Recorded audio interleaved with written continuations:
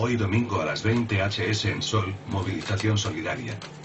Héctor Arroyo, uno de los ocho detenidos en España por participar en el conflicto de Ucrania, denunció en declaraciones a Sputnik Novosti que varios mercenarios españoles luchan en las filas de las fuerzas de Kiev contra las milicias en Donbass. No existe la neutralidad del Estado español en este conflicto, por lo que no pudimos ir contra ella. España ha enviado equipamiento militar, está apoyando a Kiev. Sabemos que hay mercenarios españoles en las filas del ejército ucraniano, afirma.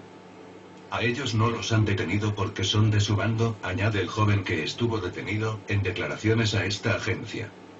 Arroyo asegura a Sputnik Novosti que la policía no tiene pruebas contra ellos para justificar las acusaciones que les imputan. Nos acusan de cometer delitos de tenencia y depósito de armas y explosivos o participación para la comisión de asesinatos, pero no tienen pruebas para demostrarlo, por eso estamos en libertad. Si tuviesen pruebas, estaríamos en la cárcel, afirma Héctor Arroyo, en declaraciones a Sputnik. Los ocho detenidos este viernes a las 6.30 horas de la madrugada española fueron puestos en libertad ese mismo día por la noche, pendientes de que les llamen a declarar si lo estima oportuno el juez.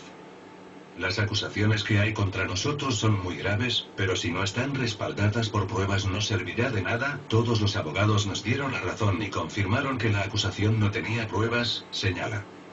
Otra de las acusaciones es la de delito contra la neutralidad del Estado español en conflictos internacionales. Este delito está recogido en el artículo 591 del Código Penal y, de probarse, podría castigarse con penas de entre 4 y 15 años de cárcel. Arroyo explica a Sputnik que basarán su defensa en decir que su viaje a Ucrania tenía un fin humanitario, para ayudar al pueblo del Donbass. Durante mi estancia en Lugansk hacíamos entrenamiento físico, pero también descargábamos camiones de comida, repartíamos ropa de abrigo y dábamos de comer a gente que estaba desplazada y sin hogar, asegura. Arroyo estuvo en Lugansk tres meses y volvió, junto a otros tres compañeros, antes de Navidad. Las detenciones se producen ahora para meter miedo, para evitar que la gente siga yendo a esa zona de Ucrania, señala el joven. El detenido asegura que las fotos publicadas en Internet no son ninguna prueba. Solo le han servido a la policía para que el juez les conceda las órdenes de registro, afirma. Arroyo asegura sentirse bien, y explica que durante el tiempo que estuvo privado de libertad no les trataron mal. Sin embargo, señala que la detención y los registros fueron un poco escandalosos. Entraron a nuestras casas a las 6.30 de la mañana muchos policías con pasamontañas y empezaron a registrar todo. La operación se desarrolló en Asturias, Barcelona, Murcia, Navarra, Madrid y Extremadura. En Madrid se produjeron tres de las detenciones, entre ellas la de Héctor. A pesar de la detención, confiesa que no se arrepiente de su viaje a Ucrania. Usuarios de Twitter se solidarizan con los ocho españoles antifascistas detenidos. Usuarios españoles de Twitter, una de las principales redes sociales, mostraron su rechazo a la detención ayer de los ocho voluntarios que viajaron a Donbass para unirse a las milicias de las autoproclamadas repúblicas populares de Donetsk y Lugansk.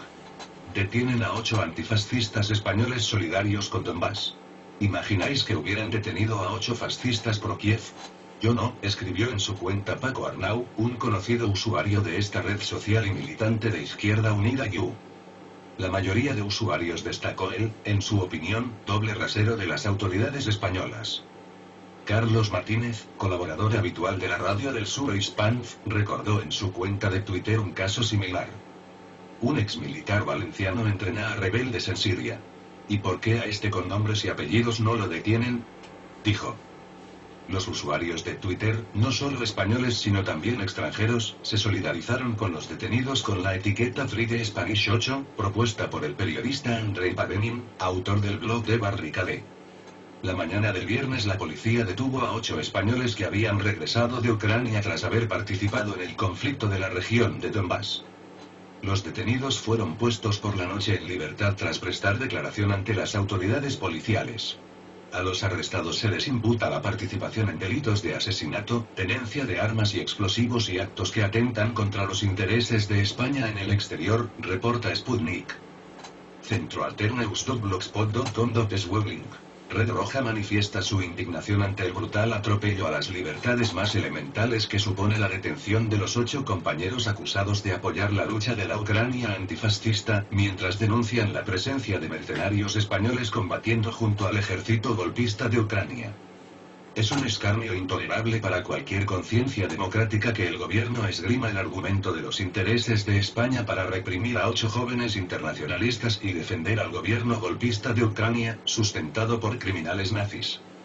Red Roja se solidariza y hace suya la convocatoria realizada por el Comité de Apoyo a la Ucrania Antifascista por nuestros compañeros detenidos, por las milicias populares que se enfrentan al fascismo el Donbass, por la solidaridad internacionalista, acude a la concentración que tendrá lugar hoy domingo, día 1 de marzo, a las 20 horas en la Puerta del Sol.